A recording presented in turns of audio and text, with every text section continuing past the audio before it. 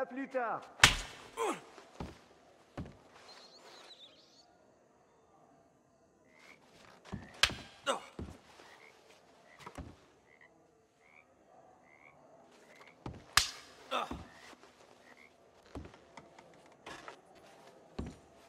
Ah, bonjour.